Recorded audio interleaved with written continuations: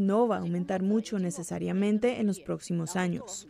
Parte de este problema es que los pandas tienen una tasa de reproducción muy baja. Las pandas hembras solo tienen una ventana de dos o tres días cada año para concebir un ocesno. Por su parte, algunos pandas macho no logran reproducirse naturalmente.